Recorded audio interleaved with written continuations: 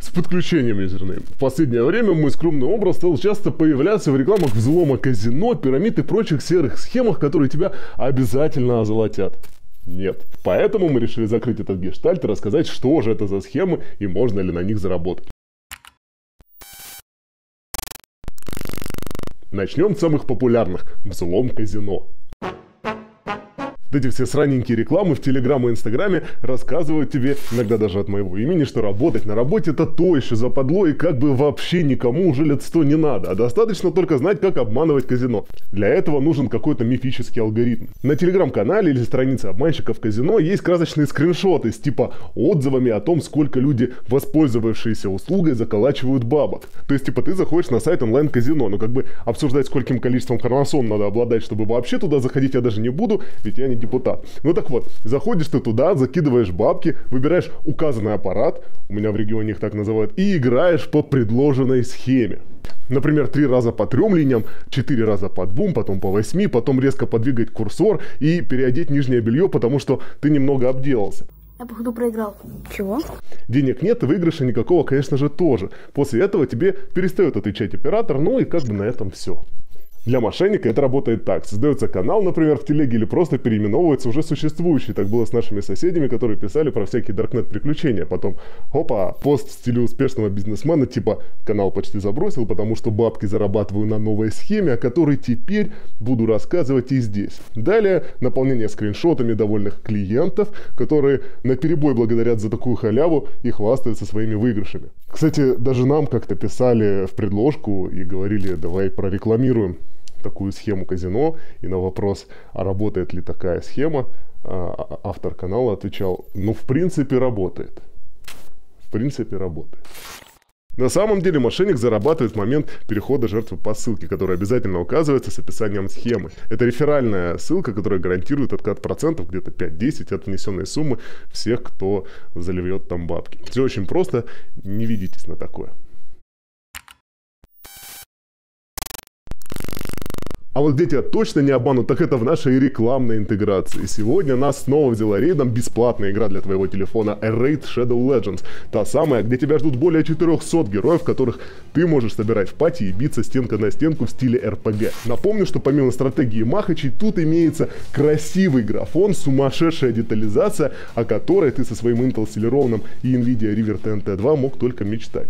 30 тысяч отзывов в сторе это подтверждают. Следующие 6 месяцев игра будет сильно обновляться, добавятся новые фракции, боссы и фичи. Если ты еще не в числе тех 10 миллионов человек, которые уже рубятся в рейд и радуются жизни, то скачивай по ссылочке. Это помимо того, что поможет нам и дальше делать контент, тебе поможет получить 50 тысяч монет, чтобы хоть где-то была такая сумасшедшая сумма. Еще у тебя будет эпический чемпион, а это, как ты знаешь, элитарно и очень почетно.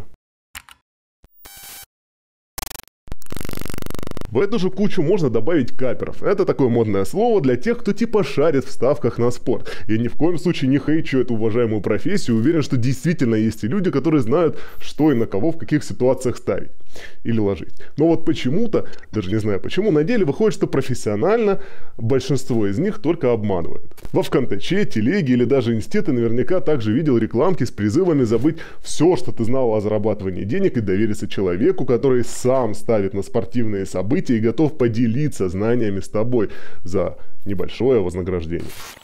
Такие делишки стары как мир. Если ты видел хоть один фильм британского Максима Галкина по имени Гай Ричи, то знаешь о людях, которые знают больше, чем обыватели о предстоящих игровых событиях, на которых можно зарабатывать баблишко. Но вот вспомни только, как обычно в этих фильмах все заканчивается. В реальности все еще прозаичнее. Если в олдскульной схеме человечки, которые подскакивали обкашлять вопросики, хотя бы думали, что знают чего-то, чего не знают остальные, то в современных реалиях кабанчики варят денежку исключительно на обещаниях. Все ставки сделаны. А если все ставки сделаны, денег в кассе быть не может. И речь тут о трехзначных суммах. Работает это так. Паблик, группа в ВК или еще в какой-нибудь человеческой диджитал-помойке демонстрирует свой успех с помощью скриншотов или статистики выигранных пари. Ты можешь получать прогнозы на всякую мелочь бесплатно или заплатить за премиум супер эксклюзивный доступ к секретной элитарной группе людей, среди которых распространяется информация о самых жирных ставках с неминуемо победной информацией. Неминуемо победной информации, извините. Но, в общем, ты понял. На самом же деле схема тут очень похожа на казиношную. Ты переходишь по ссылке, которую предоставил тебе успешный прогнозист, заливаешь бабло на событие, о котором он и ты явно знаете больше, чем весь остальной мир, и процент от твоего вклада контора отдает человеку, который тебе эту ссылку и дал под своим же прогнозом. Безусловно, существуют договорные матчи, есть люди, владеющие этой информацией, но поверьте, такая инфа стоит очень дорого и распространяется исключительно среди узкого круга тех, кто точно не выложит результат в интернет. Вообще, тема современного спорта очень интересная, если ты хочешь услышать э, о том, что мы думаем по этому поводу, то пиши в комментах. Ну, типа, ты же понимаешь, да, что современный спорт примерно на 100% на ставках и держится. И то, что YouTube запрещает гэмблинг в любом его проявлении, не мешает центральным каналам форсить его нон-стоп. Всем 322, пацаны. Кстати, некоторые админы подобных каналов сами иногда жалуются, что конторы по приему ставок кидают и их, не выдавая заработанные комиссии по рефералкам. В общем, если ты пьешь с ворами, опасайся за свой кошелек. Даже если а, вор ворует только шутки. Ну поняли, да, так тоненько, тоненько. Вообще реферальные ссылки это главный доход всех тех, кто предлагает тебе что-нибудь купить. Ну, э, видел, например, там группы, да, в телеге там с кроссовками на скидках, с Алиэкспрессом для всех слоев общества и там с халявой для всех. Обрати внимание, что все ссылки отличаются от названия сайта. Это такие специальные прошитые ссылочки для реферальных партнеров. Тут никакого обмана в принципе нет. Существуют целые биржи, которые предлагают всем желающим распространять ссылки на их товары за комиссию. И это, кстати, охрененно прибыльное дело, если грамотно выстроить способ распространения этих ссылок. Суммы с комиссии доходят до лямов в месяц у самых успешных. Тут главное помнить, что покупая со скидкой, ты ничего не зарабатываешь, а скорее всего просто тратишь бабки на то, что тебе особо и не нужно было. Так уж работают скидки. Э, нам нравится урвать что-то дешевле, чем оно есть на самом деле. Пусть это что-то даже особо не нужно. Что уж поделать, все мы жертвы эпохи консюмеризма. Да и сейчас не получится, как в мое время, ходить в школу в кедах с белым носком за сотку и при этом слыть модным панком, а не обычным нищебродом. Ставим плюсик в чат э, все, кто в своей юности примерял э, брючки, стоя на картонке, пока продавщица прикрывала твой стыд шерстяным платком. Хорошее было простое время. А сейчас везде обман. Ты заметил, как за последние лет, наверное, 15 выросло количество районных пивников, ломбардов, микрокредитных организаций и людей, слушающих рэп. Все это свидетельство экономического упадка населения. Все дорожает, а денег больше не становится. В голове все чаще жужжит мысль, что ты работаешь только для того, чтобы дальше продолжать жизнедеятельность для работы.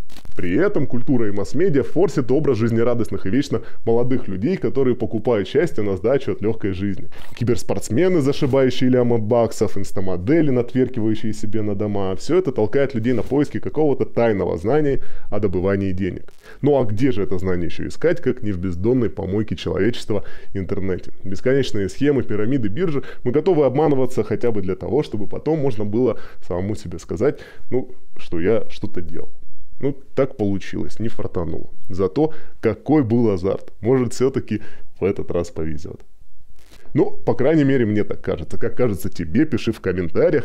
И не парься ты бесконечно о бытовухе и о всяких меркантильных штуках тоже. Это дело, конечно, нужно, но иногда и от головников надо отдыхать. Не загоняй себя постоянно тревожностью. Э, лучше выпей пивка, например. Э, все равно, что четверг. Вот. Если кто-то будет выпендриваться, кидай ссылку на видос, скажи, что я тебя попросил. Что я попросил выпить пивка. Теперь меня YouTube забанит за рекламу алкоголя.